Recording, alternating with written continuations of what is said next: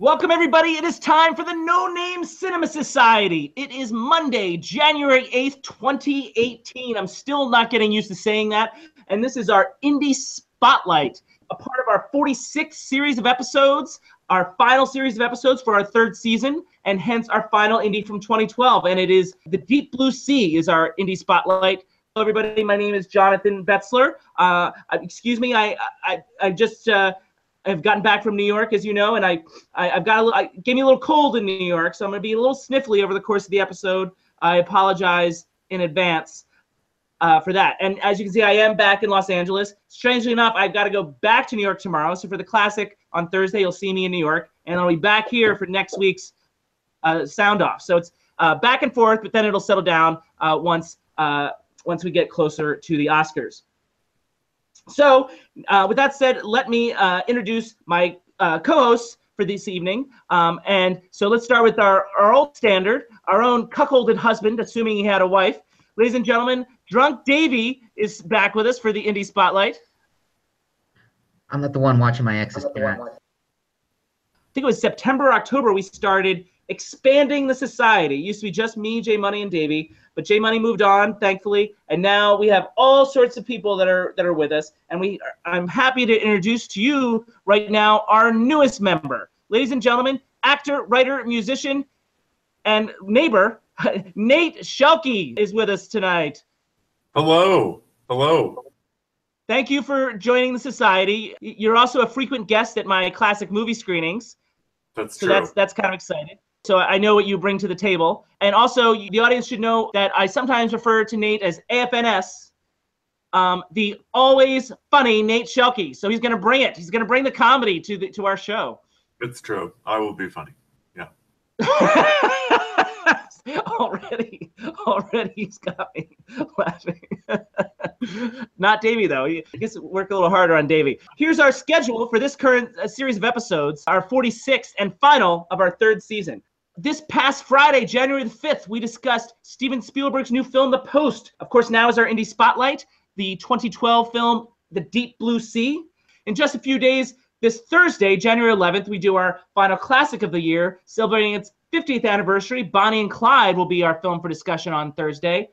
And Nate will be back with us on January 15th, a week from tonight, to do our 30th sound off. We have a special announcement. Davey's got one of his diatribes, and Davey has assigned me to count down the top five films from 1967, the top five films from 50 years ago, based on our discussion of Bonnie and Clyde. That's all happening in the sound off, which brings us to, ladies and gentlemen, the trivia that we gave you in the last episode was that the, the, it was about a successful but almost forgotten British playwright of the 40s and 50s gets readapted in 2012. And that playwright, of course, no, maybe not of course, because he's somewhat forgotten, is a gentleman by the name of Terence Rattigan. Now, you have a background in theater, Nate. Had you heard of Terence Rattigan before yesterday? There's a line in the movie, which I assume was from the play, that that was familiar to me. That jarred something in me and I study theater quite a bit. I was unfamiliar with them. Other plays by Terence Rattigan might sound somewhat familiar, but you maybe didn't know the playwright. The Browning version, The Winslow Boy, and potentially his most famous one is called Separate Tables. And Separate Tables might be most famous because there was a 1958 film made about it that would win an Oscar for David Niven as Best Actor. And there's another film version of this movie as well, made from 1955, starring the one and only Vivien Leigh. So uh, this play has quite a history, but at the same time, it's something that was foreign to a lot of us. Summary time. In London, in and around 1950, Hester Collier is married to a prominent high court judge, but is having an affair with a younger war hero. On the day of the story, she struggles with the deep, helpless, passionate love she feels for this former fighter pilot, in spite of the fact that he doesn't return her love as completely. As gentle and forgiving as her husband wants to be, she can't bring herself to going back to that life in spite of all the comforts it offers. And so her thoughts turn to ending it all. She is, as she says, caught between the devil and the deep blue sea. So, how is that summary? Honestly, great. Oh, I love you, Nate. Davey? I'm sorry, I wasn't paying attention. oh. anyway, never mind. anyway, um, if he's not careful, I'm going to make him do the summaries from now on. Um, anyway. okay. Great, great. so, um, all right. So normally I'm the last to do opening thoughts, except for indie spotlights when whoever's re- recommending the film gives their reasons for recommendation. So, uh, so I'm going to start talking about the Deep Blue Sea, um, and I think it's fitting that it's the final indie of the third season, as I think it's directly connected spiritually, visually, musically, and thematically with the first classic film that we talked about this season, David Lean's Brief Encounter. Over the course of the show, there have been a handful of films, mainly indies, that we've talked about having one particular thing that has raised the level of the film. And this subject came up on Dom Hemingway, our discussion of Comet, My Week with Marilyn, Tyrannosaur, and Young Adult. All those films had at its center a performance that elevated its material. And I think this film is another example of that. Rachel Weisz's performance as Hester is, I think, perhaps one of the best of the last decade, in close competition with her countrywoman, Rebecca Hall, who I talked about last year in her work in the film Christine. I have my own awards thing that I do every year called the Myriad Arts Awards, as some of you may know, and both Rachel Weisz and Simon Russell Beale were nominated uh, for that in 2012. Neither of them got an Oscar nominations, although Rachel Weisz did get a Golden Globe nomination, and she was named Best Actress by the New York Film Critics of that year. So I wasn't alone in admiring this performance. Um, though it was the performance that stuck with me over the years, I was reminded last night watching it with Nate how beautiful the direction was. And I'll talk more about that a little later. Now, I watched it with Nate, so I already know the answer to this question, so I'll let him go first. Nate, you hadn't uh, you hadn't seen this before, but you think you may have heard of it. Yes, that's right. Uh, when I had um, sort of seen a trailer of it, it, it seemed familiar to me. Davey, had you even heard of it before watching it for this? Uh, no. Okay. Now it's time for uh, opening thoughts, and uh, you know, to again because everybody gets an opening thoughts wrong. I'm going to let Davey go first and show Nate how it's done since it's Nate's first show. Opening thoughts, Davey. Yeah, I, you know, I liked it, but if you have to choose one, uh, go go with the shark movie. Oh wow, Nate, opening thoughts. At the end of the day, I think I prefer other movies about um, you know, like a period uh, subdued, passionate love encounter between two English people. well, I, I almost don't disagree with that. Um, however, on its own, I mean, like, would you call it a bad movie, a good movie? It's not a bad movie, but it feels a bit like homework sometimes. It feels a bit like homework sometimes would have been a perfect opening statement all on all on its own. It says a lot without saying too much. I like it. Um, anyway, so let's start with I think the thing that uh, uh, that is the most remarkable about it, uh, which is uh, performances led, of course, by Rachel Weisz. There's so much to say about Rachel Weisz, I hardly know where to begin. The inconsistencies of Hester's depression ring true in her portrayal. So when she vacillates between a reasonable calm and hysteria, it's wholly believable to me. And I think that's an intense challenge for, any actor, which she rises to. You guys have anything on Rachel Weisz? I mean, I think it's an incredible performance. I'm not overselling it. No, you're not. I didn't know she had it in her. I never thought she was a bad actress or anything, but this is just another level. I, I was really impressive.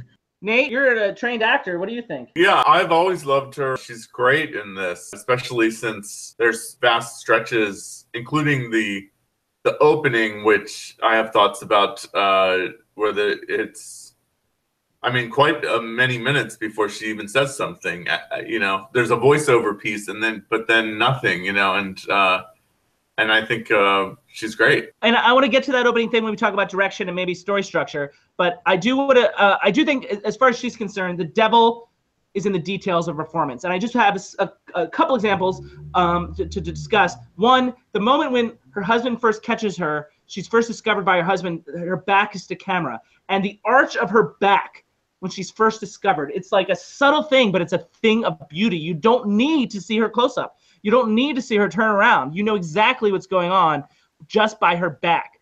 It sounds weird to say out loud, back acting, but it, it's you have to see it, like the physicality that she embodies. Also, I don't want to give away the ending. She has to say goodbye to someone towards the end. She looks down for a long period of time before she like musters up the courage in a very subtle way. It's like a great choice, I think. Final example, and there's tons of them in the film, but I've actually got a visual example here for you. I've got a clip. Apparently, in bars in the 50s, groups have sing-alongs. Everybody sort of was singing along to the, the music, which I think is a great detail because that seems to ring true as a part of post-war uh, England. Um, Hester, however, was in a different class, social class during the war, so she doesn't know the words to these pop songs.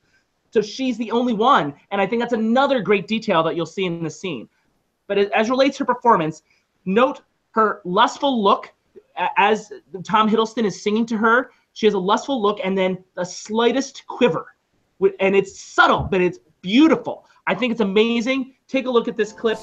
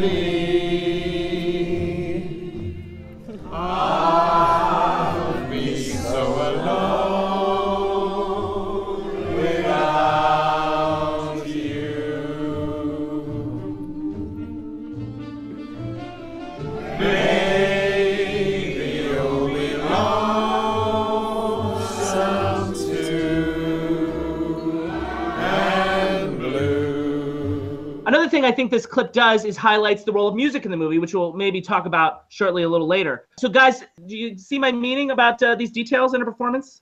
Yeah, I totally do. Uh, I, that in particular is a great sequence, like because I I think like there's so much going on with her in that scene because I think it's it's um you know there, there's part of that is that like oh she doesn't know the words but i also feel like there's an aspect of that she can never be comfortable in this relationship you know she Or in, or in this class system? of- Or in this class like- system? Yes, of course, but but even just like it reminds me of like if someone's dating someone and like it's that type of thing like they're just volatile and you just never know when something's going to change. And so even though it's going great, she can't even relax in that moment. That's very astute. I, I really like that. Davey, No, I agree. And I, I- I think that there's times in this movie where she just kind of she'll start looking away from the person that she's talking to, and you can tell that too painful to make eye contact at, at that particular time. And the, the details of her uh, mannerisms, they all are thoughtful and they all come across. Yeah, I mean, she has fully inhabited this character, and, and that's where the details come from. I mean, she might uh, say that some of these things she didn't realize she was doing because she was so far into into Hester. You know, we could do a whole show on uh, Rachel Weisz here, but let's talk about real quickly some of the other uh, performances. There's only two other major actors in the film. Simon Russell Beale, which is an actor I've admired for a while now, although he doesn't have as much of a film career. He's a stage actor primarily, and I've seen him a couple times in New York. He's a phenomenal underused actor. I really enjoy his unique line readings from time to time, his detailed physicality, his gait. He was doing some fascinating things with, with his eyebrows. I almost felt like he was playing William like a child, like innocent and oblivious, just these complex matters of the heart. And I think that in and of itself was a unique and interesting choice and interpretation. David, I'll let you go first on Simon Russell Beale. You know, I'm willing to admit that I may be reading into it a bit. He's supposed to be a judge, and he he seems like he's taking a more analytical view of, of emotional uh, situations than than the normal person would, and it, just just just the way he's processing. And I, I I think he was doing that as a judge, like he was carrying that that job with him throughout the film, and I think it worked really well. Yeah, I mean, it's a part of his personality, and he certainly embodied that. I, I agree with that. Nate. I mean, one of my favorite scenes in the movie is T with his mother and Rachel Weisz. It's great watching him because it's like his Yeah. face is amazing. One of the meanest mothers you'll ever meet. yeah, yeah. But he thinks this is great. You know, like having Well, he- he's getting his girls together, his wife and his mummy. He calls her mummy, grown man. Going back to my childlike nature uh, of him, that's a really interesting scene, and so much subtext going on in that scene. So that's yeah, that, that's terrific, and and the mom is is great too. Real quickly, Tom Hiddleston. I think Tom Hiddleston showed a great understanding of this character, his feelings and his motivations, and as an actor, he definitely made that clear to us. However. I feel like he lacked that upper echelon of detail that the other two performances have. I'm not saying it's a bad performance. When very clear, it's a good performance. It's just what the movie needed. Compared to the other two, especially with what these other two actors are doing, the way that they're communicating so much so easily, we didn't get that from Tom Hiddleston as much. I think, uh, Davey. I don't know, but I think maybe there's an element of when you're in the presence of somebody who's just killing it, maybe you uh maybe you eh, rather than try and hang or steal the scene, you you kind of just get out of the way and, and let him go. Probably not, but I, I he was fine. Nate, how do you feel about this getting out of the way theory? I well, sometimes, but if it's a two-person scene, certainly not. Like eh, because there's, it's like It was. I always liken it to like you know playing tennis or something like that. Like you you need to someone to hit the ball back, you know, and if you don't, like you have nothing to push against. And I thought it was great though, because uh, just to see a young Tom Hiddleston before I even even wins the first Avengers, like that's you know, or uh, Thor. The first Avengers was 2012, but I think Thor was 2010s, And you and I saw Oh, Thor together. Okay, so this is right afterwards. Okay, perfect then. But it still was fun to like see him not be, you know, Loki, but he's playing a cat again, you know, and it's kind of like right in his wheelhouse. He had also done Warhorse before this, a small role in Warhorse. Oh, okay. I think this role calls for like a raw performance, and, and I do feel like it doesn't match up to her. But I do want to talk about the thing that impressed me more the second time, and that is Terence Davies' direction. And I don't know why it didn't stick with me the first time, but I, I, it really stuck with me on my home TV this time.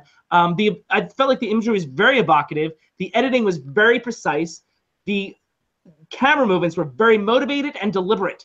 I, I'm sure Davey will want to talk about the shot in the tube, the underground tube, um, the overhead revolutions, um, which I think reflected her downward spiral emotionally. Uh, the those shots were just gorgeous. There's a, another one that's a very slow push into a phone booth that I think is just very evocative. The way that Davies uses the mise en scène, there's so much detail in the design, which maybe we'll get to. Obviously, he provides a great environment for actors, so many great performances. I would argue that maybe there was times when he was possibly a little too much in love with his images, and maybe he lingered a little too long here and there. Overall, so many images I found it breathtaking. There's certain sequences that I really liked, like the bar scene. I love the ending mirroring the beginning. But I will say, like, I felt that the opening took too long, and I found the music very jarring. I disagree with that. Let's table the music here. That's a paragraph on its own, quite frankly. But I would say that the one thing about those scenes that, that you listed, they're they're all almost one shot. Like even without necessarily having lots of camera movement, without feeling overly theatrical either. It's just, but it's restraint. You know what I mean? Like it's letting the actors work within the space.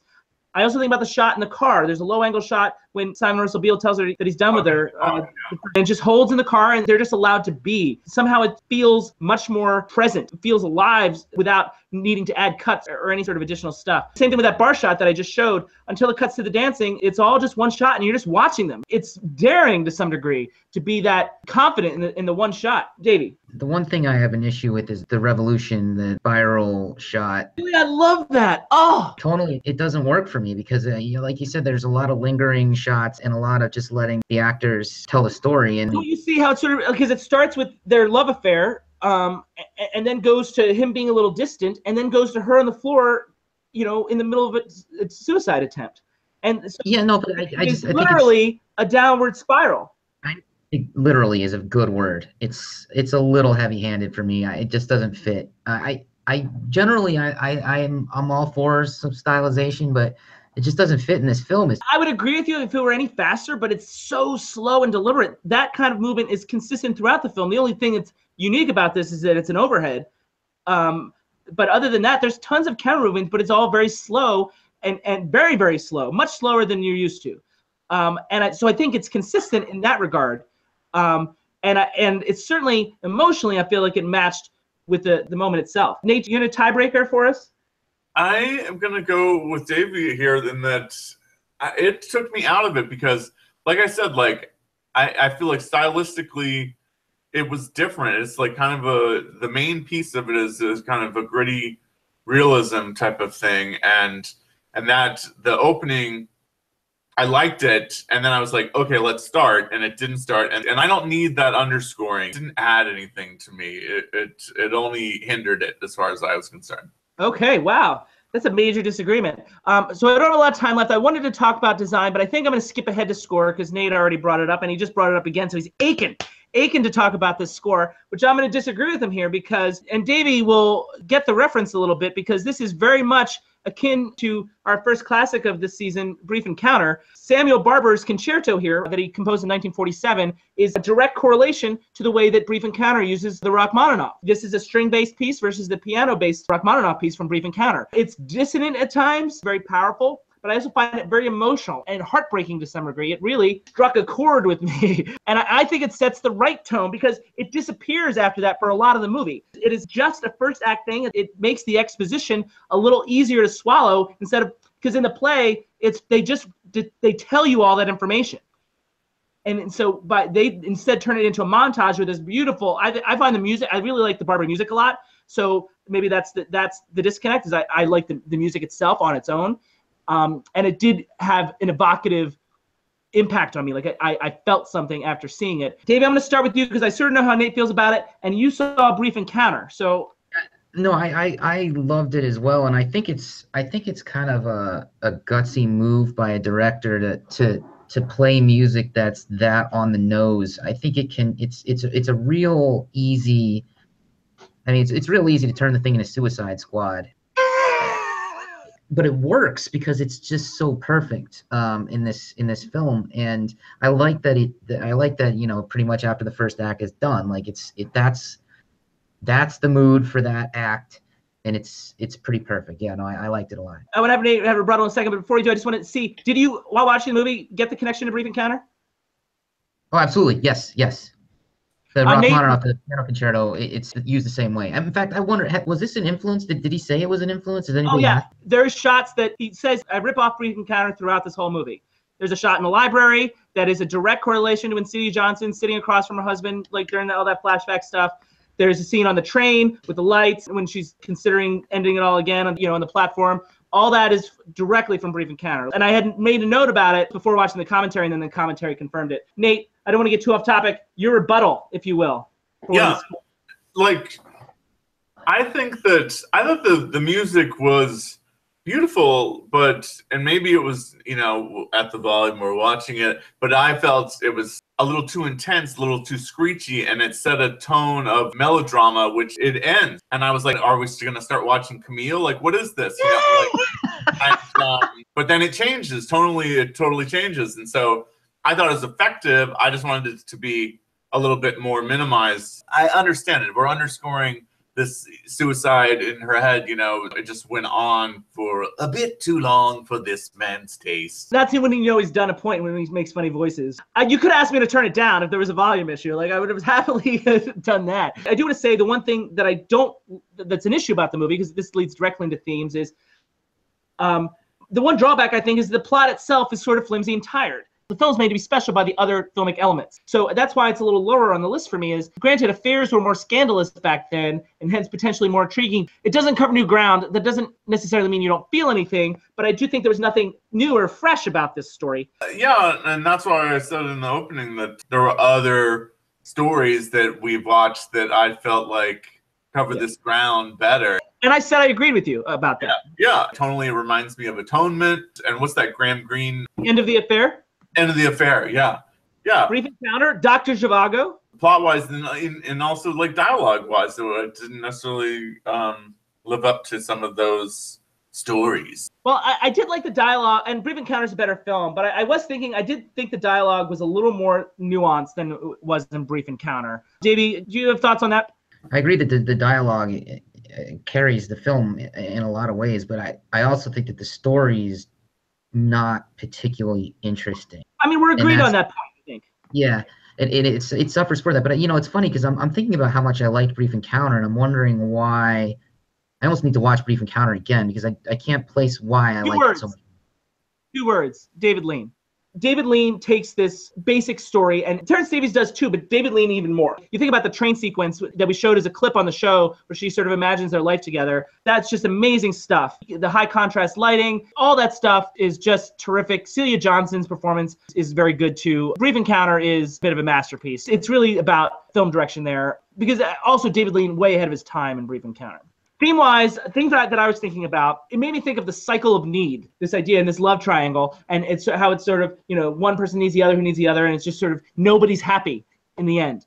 Um, it also makes you wonder, I think, about monogamy in general, and, and maybe that's a you know a selfish thing that I'm trying to bring out here, but it makes it because it just sort of you get the feeling that uh, as much as Hester thinks she needs Freddie, you know, he's right for her right now, but if she eventually can get over it, like William was right for her for a certain point of time, Freddie was right for a certain point of time, and she's still young-ish, like early 40s. There's other people that are, will be right for her even in the 1950s.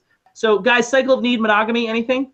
And now that we talk about it, passion versus settling versus convenience. That- that's sort of what I mean about mon- monogamy. I actually had another theme. Maybe it's not its own theme, just an idea that the film is putting forward that's related to that. And I was going to save it for last because it's one of the more out of the box ideas that I had about the film.